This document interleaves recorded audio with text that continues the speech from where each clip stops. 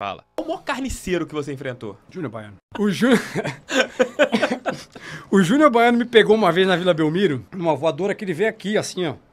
Acabando o jogo. Os caras assim, ó, a gente prende a bola, né? Chovendo na Vila Belmiro. Eu dando tapa assim na ponta esquerda, só olhando o Júnior. Dei um, dei dois. Quando eu vi que ele. Eu falei, agora ele vai vir aqui babando, vou dar um tapa lá na linha de fundo. Quando eu pensei, ele já tava aqui assim. Nós fomos corregando na grama assim, batendo tal lá que eu apaguei, cara. Fui acordar uns minutos depois com o éter, com o médico. Eu todo lascado. Meu irmão.